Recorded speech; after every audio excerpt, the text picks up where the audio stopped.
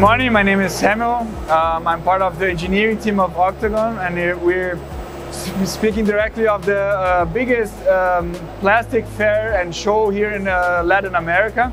And Octagon is introducing some new products and this is one of them. It's our new air ring, uh, automatically controlled air ring. It's the Smart Lip 1. Uh, the new features of this air ring is that it has only one air inlet, which makes it very easier for the installation. We also have um, a very good air distribution here and a low pressure drop. That means that by this special mechanical design we have here, more air comes to the bubble of the line and thus you can increase the production and increase the speed of the line because you have more air, more cooling. Um, another special feature here is that we have an internal isolation system here. So in countries um, like here in South America where, where it's very hot, you can use this air ring and you have no condensation problem.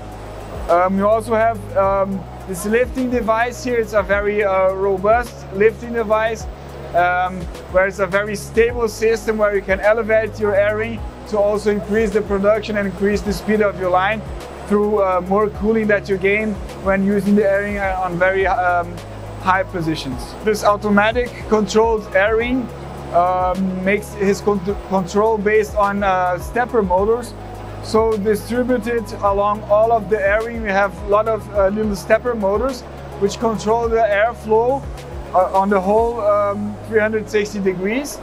Um, those stepper motors, they are very robust. They have no contact with the airflow. So it's a, a special, uh, um, separate place where they're located. So it's easy to have access and there's no contamination from the outside and it's also a very low power system so we have a very high energy efficiency and it's a very robust and high and it has a very high durability and there are no problems or maintenance that need to be made on a daily basis on this system.